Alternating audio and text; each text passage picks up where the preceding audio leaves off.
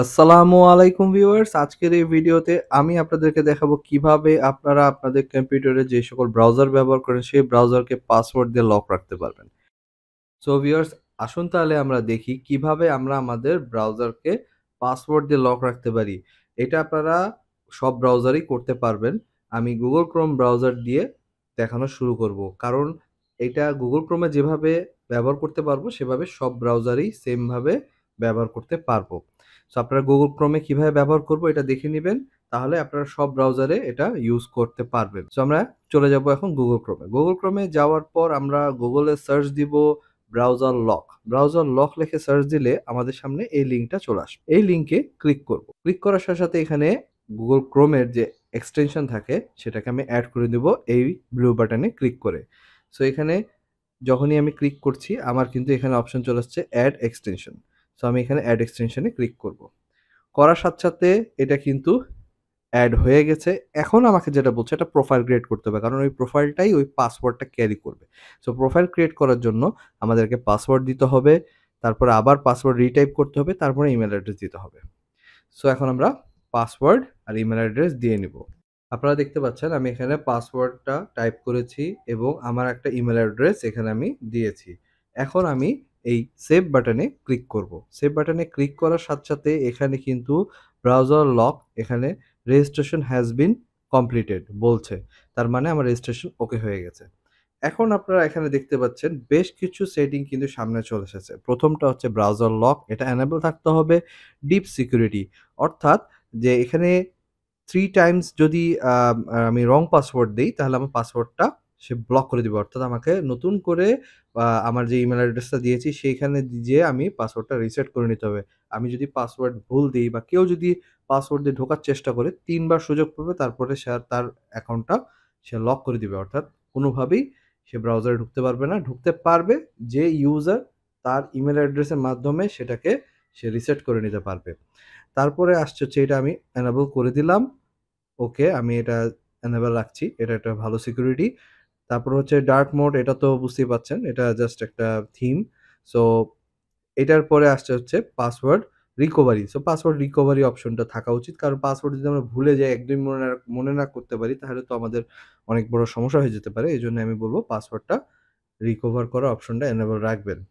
তারপরে আসছে হচ্ছে ক্লিয়ার হিস্টোরি এখানে হচ্ছে তিনবার যদি পাসওয়ার্ডকে রং দেয়, এটা যদি আমি এনেবল রাখি, তাহলে আমার পুরো ব্রাউজারের হিস্টোরি সে ক্লিয়ার করে দিবে। সো এটা আপনারা অপশনাল এটা অন রাখতে পারেন, আবার নাও রাখতে পারেন। সো এটা কোনো ব্যাপার না, এটা যদি অন রাখেন, যদি আপনার মনে হয় এক্সট্রা সিকিউরিটি দরকার আপনার, সেক্ষেত্রে আপনি এটা করে রাখতে পারেন। সো এই হলো সেটিংটা, এটা করার পর আপনারা চাইলে পাসওয়ার্ড যদি এখনও চেঞ্জ করতে চান, তাহলে এখানে আপনি ওল্ড পাসওয়ার্ড দিবেন, যেটা দিয়েছি আমি এখন। তারপরে নিউ পাসওয়ার্ড দিয়ে আবার নিউ পাসওয়ার্ড টাইপ করে দেন সেভ দিলে আবার আমার পাসওয়ার্ডটা রিসেট হয়ে যাবে। সো এই হলো সিস্টেম আর একটা হলো চেঞ্জ ইমেল আমি যদি এখানে ক্লিক করি চেঞ্জ ইমেলে তাহলে আমার ইমেল যেটার আন্ডারে আমি তাকে রেজিস্ট্রেশন করে রেখেছি ব্রাউজার লককে সেই ইমেলটা চেঞ্জ করে দিবে সে। সো ভিউয়ার্স এতক্ষণ আমরা ব্রাউজার লক এক্সটেনশনটা সেটিং করলাম গুগল ক্রোমে এখন আমার গুগল ক্রোমটা ওপেন করে দেখি এটা লক হচ্ছে কিনা। সো আমি এখন গুগল ক্রোম ওপেন করলাম। ওপেন করার পর হিনভিডি ইউজারে ক্লিক করলাম। আপনারা দেখতে পাচ্ছেন, এটা লক শো করছে। কিন্তু একটা সমস্যা আমি পেয়েছি, আমি অন্যান্য কম্পিউটারে যখন গুগল ক্রোমে এই এক্সটেনশনটা করেছি, সেখানে এটা কিন্তু অটোমেটিক লক ছিল। অর্থাৎ আমি যদি একবার এটা পাসওয়ার্ড দিয়ে নিই দেন আমি একবার লগ ইন করলাম, এইটা এখন ঢুকে গেল ব্রাউজারে এরপরে আমি যদি আবার ক্রস করে দিই দেন আবার ব্রাউজারটা ওপেন করি দেন হিনবিডি ইউজারে গেলাম। আপনারা দেখছেন এটা কিন্তু আর পাসওয়ার্ড চাচ্ছে না। আবার কিছু কিছু পিসি পেয়েছি আমি যেখানে গুগল ক্রোম ব্রাউজারে যখন আমি এক্সটেনশন অ্যাড করছি, সেখানে এটা অটোমেটিক কাজ করছে। অর্থাৎ আমি যখনই ব্রাউজারটা ক্লোজ করে দিব, তখনই সে লক হয়ে যাবে। দ্বিতীয়বারে যখন আমি আবার ওপেন করব, তখন সে পাসওয়ার্ড চাইবে। আপনারা দেখছেন এখন কিন্তু পাসওয়ার্ড চাচ্ছে না। এখন যেহেতু অটো লক হচ্ছে না, তাহলে আমরা ম্যানুয়ালি কীভাবে লক করতে পারব? ম্যানুয়ালি লক করতে গেলে আপনারা এখানে দেখতে পাচ্ছেন, আমি এক্সটেনশনটাকে পিন করে রেখেছি। এছাড়া আপনাদের যারা পিন করে রাখেন না এক্সটেনশন আপনারা এইখানে একটা আইকন দেখতে পাচ্ছেন, এই আইকনে ক্লিক করলে আপনারা এখানে দেখতে পাচ্ছেন ব্রাউজার লক এটা একটু ডিজেবল অবস্থায় আছে এজন্য আমার মনে হচ্ছে যে সামহাও তাদের কোনো আপডেটের সমস্যার কারণে এটা হতে পারে। সো এটা কাজ করবে ডিসেবল অবস্থা থাকলেও কাজ করবে। কীভাবে? আপনারা জাস্ট পিন করে রাখবেন, এখানে ক্লিক করবেন, করার পর এখানে দেখতে পাচ্ছেন লক ব্রাউজার লেখা আছে। লক দিলাম লক হয়ে গেল। ঠিক এভাবে আপনারা ম্যানুয়ালি লক করে নিতে পারবেন।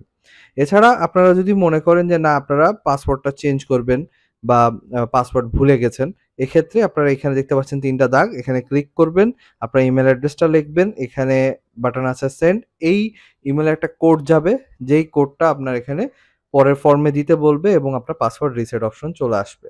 যেহেতু আপনারা পাসওয়ার্ড রিসেট অপশনটা এনেবল রাখবেন। যদি না রাখেন, তাহলে কিন্তু এই অপশনটা কাজ করবে না।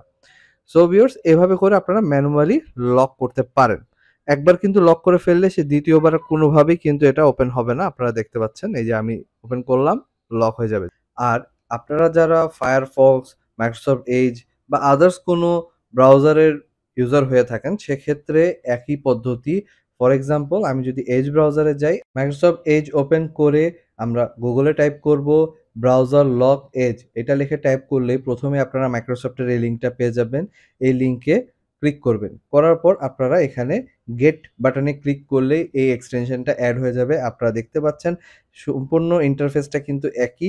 সো এইভাবে আপনারা প্রতিটা ব্রাউজারের নামের আগে খালি লিখে দিবেন browser lock Firefox browser lock Edge এটা লিখলেই আপনাদের সেই ব্রাউজারের এই এক্সটেনশনটা চলে আসবে গুগলের সার্চের টপে আশা করি আপনারা এই এক্সটেনশন ব্যবহার করে উপকৃত হবেন। যদি আমার এই ভিডিওটি আপনাদের ভালো লেগে থাকে প্লিজ লাইক এবং শেয়ার করবেন। এখনও যারা আমার চ্যানেলটি সাবস্ক্রাইব করেনি প্লিজ সাবস্ক্রাইব করবেন। সামনের আরও ভালো টেক ভিডিও দেখার জন্য। ধন্যবাদ।